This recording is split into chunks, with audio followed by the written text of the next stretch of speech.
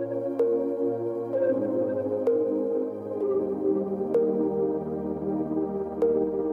I'm Candice with Infinite Creator Real Estate, and I want to discuss a common question raised by my clients regarding the accuracy of Zillow estimates compared to formal property appraisals. Understanding the difference between these valuations methods can help you navigate current property values. Zillow, a popular online real estate marketplace, provides automated property values estimates known as Zestimates.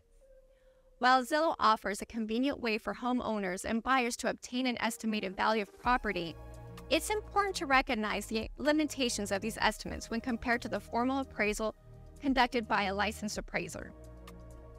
Understanding this difference is crucial, ensuring that you have reliable information to make an informed decision. Here's what you need to know. While Zillow can serve as a helpful starting point, it's important to recognize its limitations. Zestimates are based on algorithms and data analysis, which may not capture the unique characteristics or nuances of a property. In some cases, Zestimates can deviate significantly from the actual market value.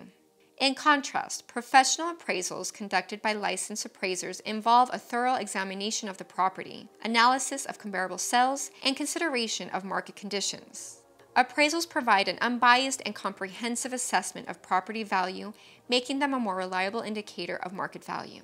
It's crucial to understand that Zillow estimates and appraisals may differ significantly due to factors such as limited data availability and market fluctuations. Relying solely on Zillow estimates may result in inaccuracies and potentially affect your buying or selling decisions. If you have any questions or need further guidance on South Florida real estate, contact me, Candace, with Infinite Creator Real Estate. I look forward to working with you.